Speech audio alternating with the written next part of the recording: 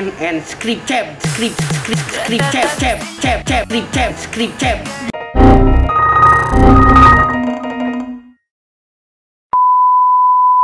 script chat. Halo car audio lovers, kembali lagi bareng gua Teddy JL di channel YouTube Niki Motor. Selamat datang di channel YouTube Niki Motor Car Audio Solution ya. Teman-teman, kali ini di vlog ini uh, gue mau unboxing pendatang baru dari Vokal ya, Vokal Prancis. Ini speaker yang ditunggu-tunggu. Dari bulan-bulan lalu udah diinfo bakal ada tipe baru, keluaran terbaru dari Vokal ya. Ini speaker materialnya terbuat dari slate fiber namanya ya. Jadi ini adalah varian terbaru dari Vokal. Harga cukup ekonomis ya. Untuk speaker vokal di bawah 10 juta sih menarik ya teman-teman. Dan speaker ini digadang-gadangkan memiliki sensitivitas tinggi. Jadi nggak perlu power gede teman-teman. Jadi kalau kita tahu kalau speakernya udah pakai vokal, powernya juga udah mesti bagus ya. Nah, seri ini nggak dituntut demikian teman-teman. Bahkan dipromosikan lewat head unit langsung pun bisa enak suaranya, bisa ngangkat ya. Nah, yang dalam pikiran gue sih bukan head unit ya teman-teman, karena di mobil-mobil sekarang, zaman sekarang kita install audio itu sudah banyak sekali memakai DSPM ya. Jadi yang gue interest sih ini nggak perlu pakai DSPM yang dahsyat banget. Mungkin DSPM yang entry entry level juga udah asik gitu suaranya, karena dia tidak membutuhkan watt gede gitu ya. Nah, slide fiber ini ngeluarin dua seri, dua line up ya, terdiri dari dua varian. Yang satu adalah versi two-way-nya dengan tipe PS 165 SF. Nah, satu lagi versi koaksialnya dengan tipe PC 165 SF ya. Nah, kedua varian ini konusnya sama-sama terbuat dari slate fiber ya. Gue cerita sedikit, ini riset gue di websitenya Vokal ya. Jadi kabarnya si uh, tim Vokal ini udah meriset uh, bahan konus slate fiber ini uh, udah di riset selama 4 tahun ya. Sekarang baru dirilis speakernya. Jadi slate fiber ini mereka menggunakan carbon fiber yang daur ulang ya.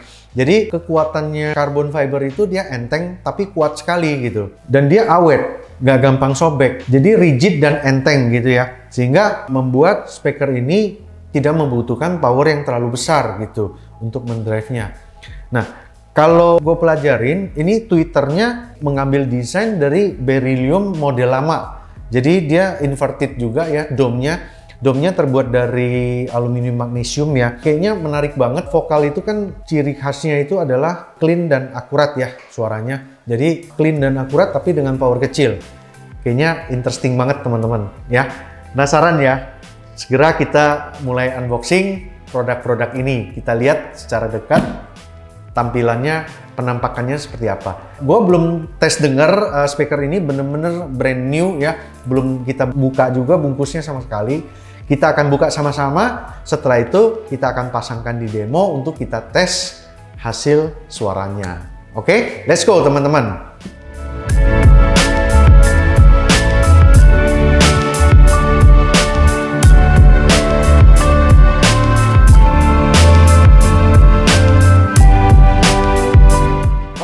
Teman-teman kita mulai dari lihat packagingnya dulu ya. Tumben ini vokal dusnya putih ya.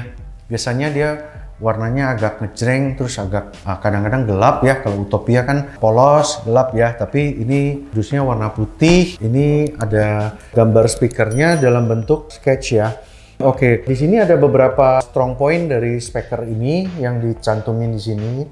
Ini adalah maksimum power ya, maksimum power ya teman-teman bukan RMS ya. RMS mid bassnya gue udah lihat ini 80 watt RMS-nya. Untuk tweeternya kecil sekali, cuma 15 watt ya. Jadi ini speaker memang didesain untuk power kecil gitu ya. Tapi pertanyaannya kalau kita kasih power gede gimana? Sah-sah aja, no problem gitu. Nggak akan jadi masalah. Mungkin performnya akan lebih bagus ya, selama tuningnya benar ya. Tidak overload gitu, sensitivity gainnya gitu ya. Oke, okay? nah Twitter dalam bentuk konusnya itu aluminium magnesium ya. Oke, ini high sensitivity, terus dual crossover, double filter. Ini maksudnya apa? Nanti kita lihat sama-sama ya setelah unboxing. Oke, di sini ada tertera spesifikasi barangnya ya.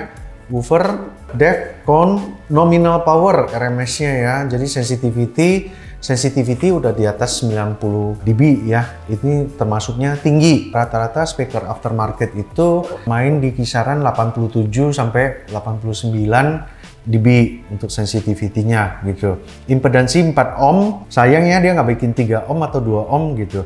Akan lebih gila lagi sih. Oke, okay? nah kita lihat lagi di belakang uh, sama, cuman beda bahasa. Sini ada label distributornya Audio Workshop ya, garansi resmi vokal Indonesia ya. Oke, kita mulai buka teman-teman. Oh, masih segel.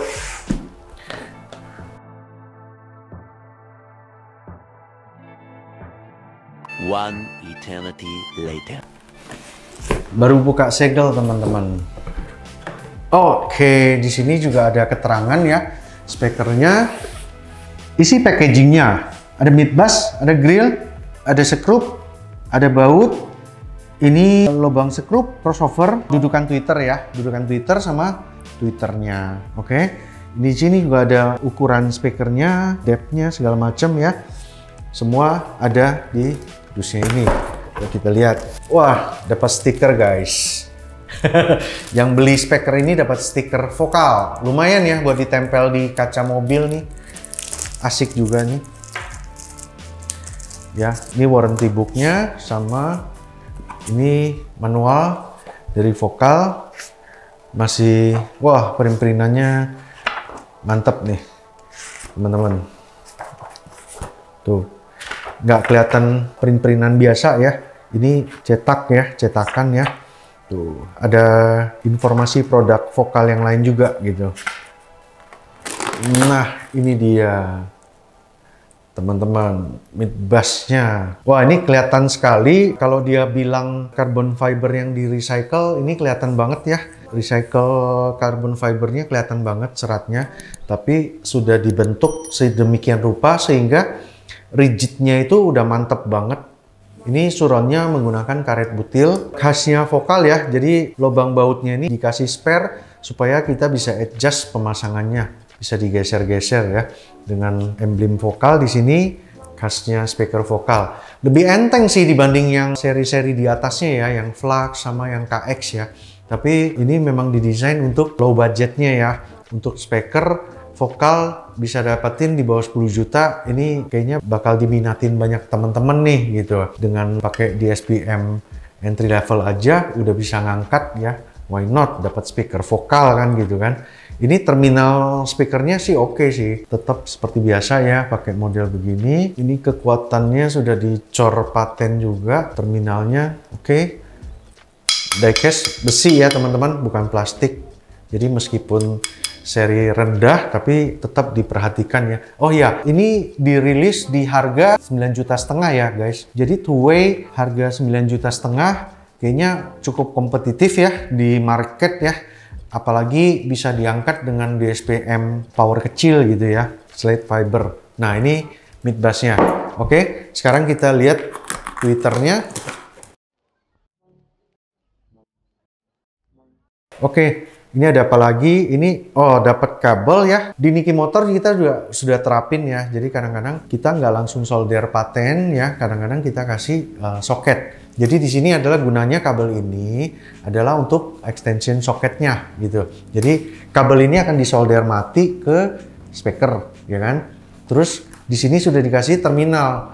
Dikasih terminal, kita tinggal kasih soket aja gitu. Tinggal kasih soket terus ketemuin lagi ke DSPM atau amplifier nanti tinggal plug gitu kan jadi enak sekali jadi suatu saat perlu maintenance speakernya perlu dicopot nggak perlu dibuang solder yang terminal itu jadi tinggal lepas soketnya selesai gitu oke okay?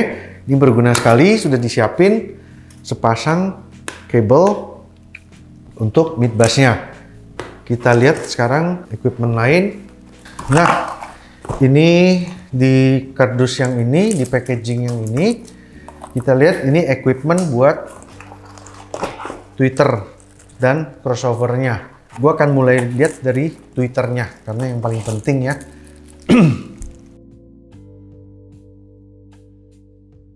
Twitternya enteng banget nih guys. Asli enteng banget nih.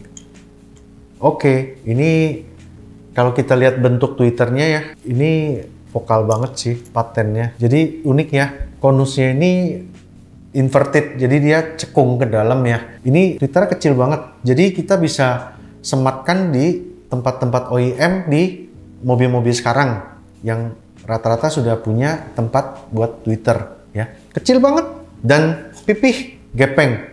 Ya, yang kepikiran sama gua tempat Twitternya uh, Race sama Rocky ya kan ceper tuh dalamnya nggak bisa isi Twitter yang gendut-gendut pantatnya ya ini cocok banget nih guys ya setelah dilepas begini kalau mau dipasangin cover juga masih oke okay, gitu setelah ditutup dia jadi begini oke okay?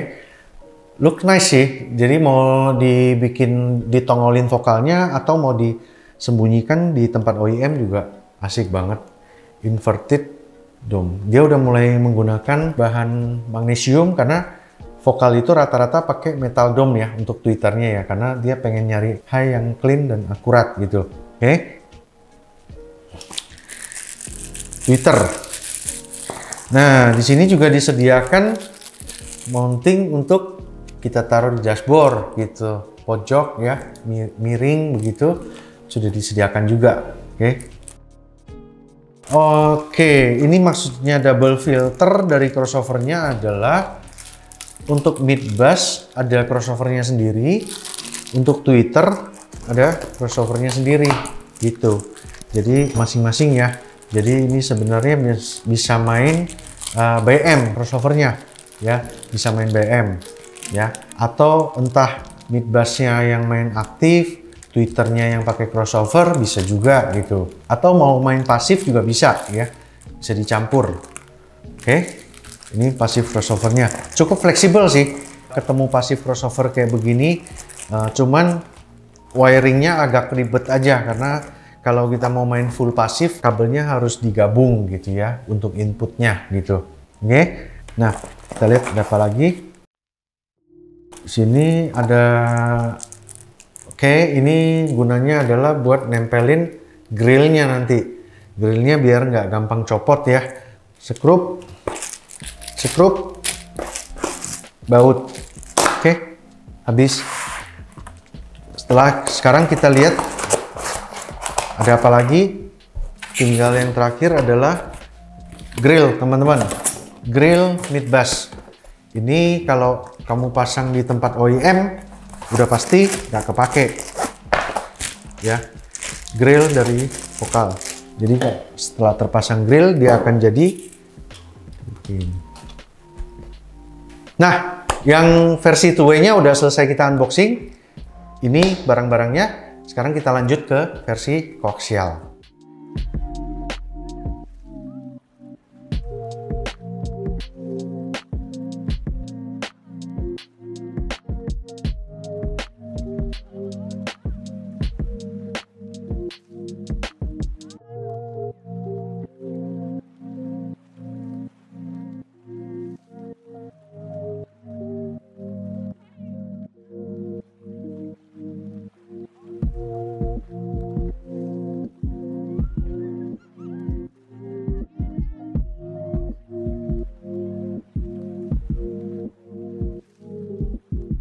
Nah, ini guys yang versi koaksialnya PC165SF ya.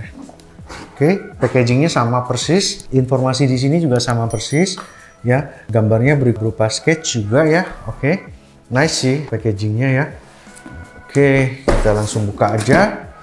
Koaksialnya seperti apa? Oh iya, masih segel.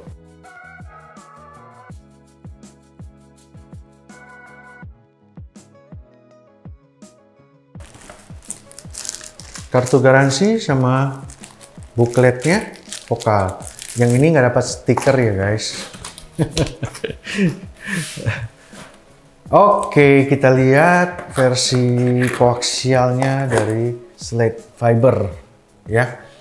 Ini diecast-nya sama, konus mid bass-nya persis sama, twitternya sama persis teman-teman. Jadi ini adalah two way yang dijadikan koaksial ya. Di sini kelihatan banget dia udah bikinin crossovernya di dalam speakernya. Oke, okay. pantesan mahal ya speaker koaksialnya ya. Jadi ini dirilis dengan harga 8 juta setengah untuk koaksial sih amazing juga ya harganya ya. Tapi ternyata ini sebenarnya sama dengan two way-nya, sama dengan versi two way-nya, tapi ini dijadiin satu dari kualitas bahannya, dari kualitas twitternya, jadi sama persis gitu. Cuman dijadiin koaksial. Jadi kadang-kadang memang kita membutuhkan speaker koaksial yang berkualitas ya untuk menghadirkan satu sistem yang balance dan enak gitu. Oke, jadi nggak ada salahnya koaksial agak mewah gitu ya, tapi bisa menciptakan hasil suara yang lebih koheren gitu ya antara depan sama row 2 atau untuk mobil-mobil yang di deck belakang speaker rearnya gitu ya. Jadi ini memang tersedia opsi karena banyak sekali speaker speaker berkelas yang tidak punya pasangan koaksialnya. Jadi kadang-kadang jadi jomplang ya kualitas yang speaker depan sama tengahnya gitu. Oke. Okay? Nah, ini untuk SF ini tersedia opsi koaksialnya. Jadi teman-teman bisa menseragamkan ya, nyeragamin speaker depan dan speaker belakangnya tonalnya udah pasti sama. Oke. Okay? Sepertinya udah nggak ada apa-apa. Tapi ini sepertinya dapat grill juga ya, teman-teman. Kita lihat. Iya, bener. Juga dapat baut lem untuk grillnya sama grillnya sendiri oke sama persis ya dengan versi two way nya